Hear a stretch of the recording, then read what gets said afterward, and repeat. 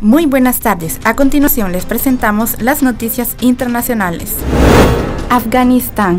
El doble atentado con más de 100 muertos acaba con la evacuación de Kabul. La cifra de fallecidos tras el doble atentado del grupo yihadista Estado Islámico en el aeropuerto de la capital no deja de subir y ya supera los 100, entre ellos 13 marines de los Estados Unidos. El personal de los hospitales no ha dejado de trabajar en toda la noche para atender a los más de 150 heridos, muchos de ellos en estado crítico. Ingresaban y no podían hablar, estaban aterrorizados, con la mirada perdida. Hace tiempo que no recibíamos una situación así, informó la organización médica Emergency, responsable de uno de los hospitales a donde llegaron los heridos. Los talibanes condenaron el atentado y lamentaron la pérdida de 28 combatientes, todos ellos responsables de la seguridad de la zona.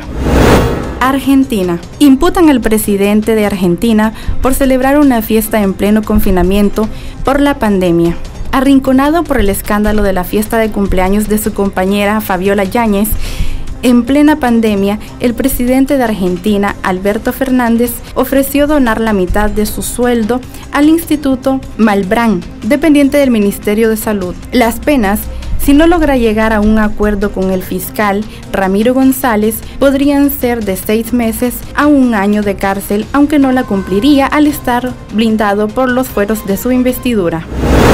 Perú. Después de más de 13 horas de un intenso intercambio entre críticas, el gabinete de ministros de Pedro Castillo ha recibido finalmente el voto de confianza del Congreso. Se necesitaron dos sesiones plenarias para que los ministros del nuevo presidente de Perú recibieran el visto bueno. La votación quedó con 73 votos a favor, 50 en contra y ninguna abstención. El jefe del gabinete, Guido Belido, pidió a los legisladores de poner las diferencias que mantienen con el Ejecutivo para resolver los principales problemas del país, como la pandemia y la recuperación económica.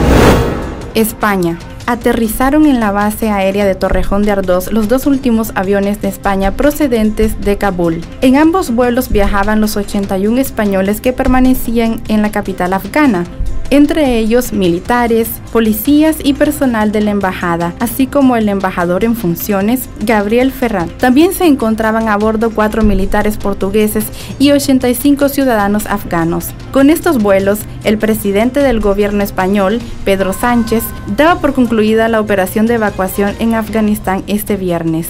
En nueve días, entre el caos y el asedio de los talibanes, España ha logrado sacar del país a casi 2.000 refugiados afganos que han ido llegando en sucesivos vuelos a dicha base aérea ubicada en la Comunidad de Madrid.